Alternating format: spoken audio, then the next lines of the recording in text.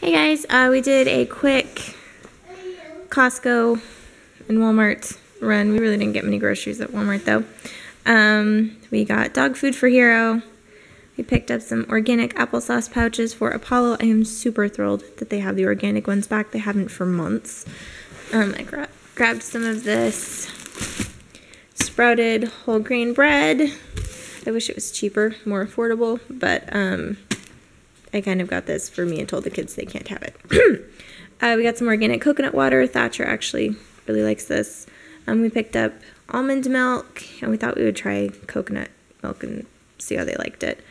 Um, TP, croissants, obviously we've gotten into those. Picked up two of these things of organic berries. They're big, and this is like the best price for organic berries I've seen. Um, we got into them in the car. Picked up some plums. Ruben said he really wanted some. Got some organic tortilla chips. Got some blackberries. These were not organic, I know. But those are the only organic berries they had, so.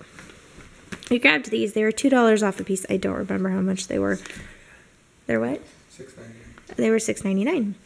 Um, and we figured they're just these thin, comfortable um, shirts for the kids we got some for Thatcher, Nart, and Ruben. They're going to wear them as their pajama shirts and because they love wearing their LuLaRoe leggings to bed.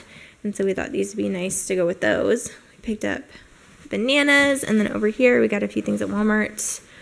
We needed a new dustpan. Um, those are self-explanatory. Tory. Infant ibuprofen. This was lemon and so I really had to try it. Picked up these for Hero, new dishes, because the little ones that he has outside, they're really small and um, he keeps knocking them over. So hopefully these will work better. And then grabbed this really pretty um, placemats. Placemats. We're going to put the cat's food and water dishes on it so that when she eats and makes a mess, it's not just like it doesn't scatter all over the floor as easily that's what we got. Hope you guys are having a good week. I will talk to you later. Thanks for watching. Bye.